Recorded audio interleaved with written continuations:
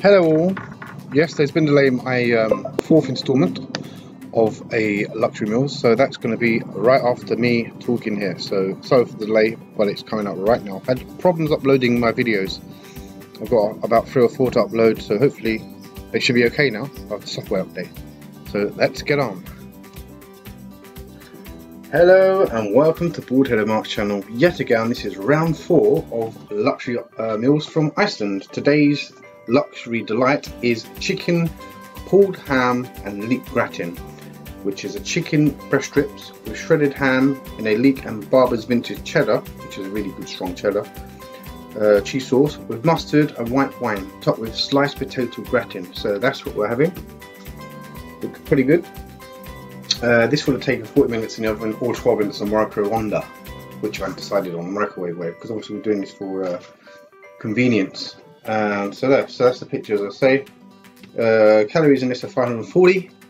So the real product is like this. Just put my laptop down. Can you see that? There you go. That's better. So it looks pretty good. I mean, I, I,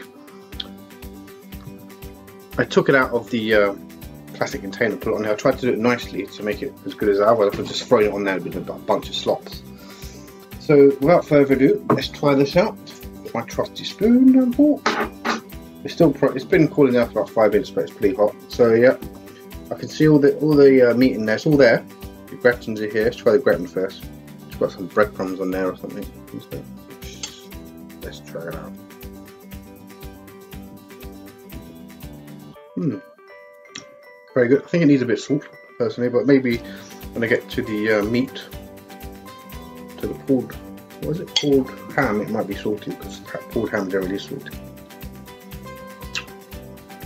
Ooh, yeah, oh you can taste that mustard in there, that's really good. That uh, mustard and white wine, you can taste that. I can't taste the cheese, which is would be I thought would have been prevalent because uh, the Barber's vintage cheddar is pretty heavy in flavour. It's very good. -hmm.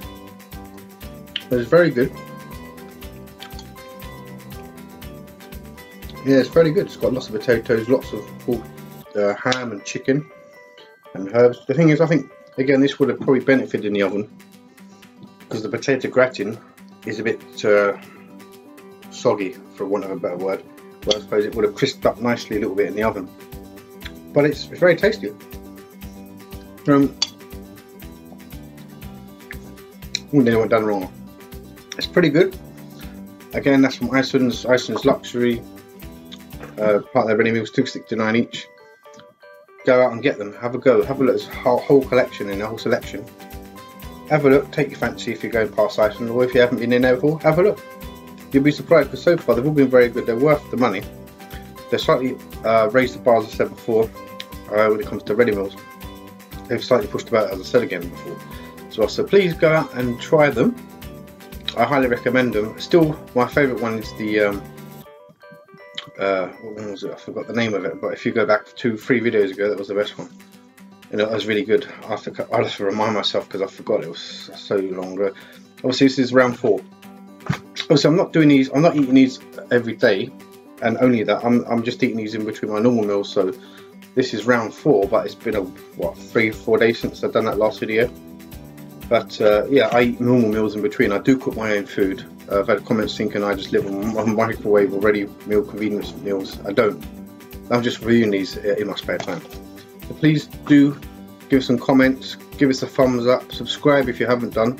Press that bell to get uh, automatic notifications so you don't miss anything. Uh, stay tuned for round five, which will be coming up probably in the next day or so because I want to uh, get knock these on the head because I've got other things to review uh, and in a pipeline coming up. So please, as I say, subscribe, like, leave some great comments. Thank you all for subscribing. Uh, spread the word, guys, as I said before, and I'll uh, catch you again soon. So until that, have a great afternoon, evening, and night, whatever time you see my videos. Please take care of each other, and until that time, bye.